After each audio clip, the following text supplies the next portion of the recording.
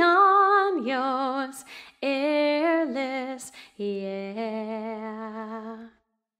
One happy birthday dot com.